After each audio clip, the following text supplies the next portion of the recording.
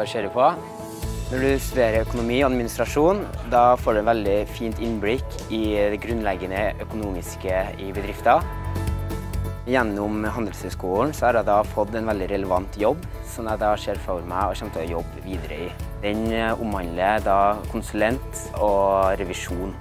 Den har jo da en rekke linjeforeninger hvor du da kan få testa dine økonomiske kunnskaper. Annet studentkapital, som omhandler aksjer. Du har børsklubben, som er litt mer det sosiale, men òg har veldig sånn relevante arrangement rundt økonomi. Stavanger er en veldig fin by. Det er reale folk her. Og selvfølgelig det fantastiske været.